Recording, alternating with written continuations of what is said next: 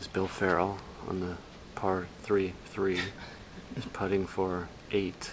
and the silver medal. This is number eight. It's a tie for silver.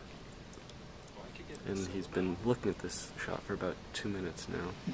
Um, just can't and find making his strange motions with his spot. arms. On his last stroke, he actually hit it with the back of the putter.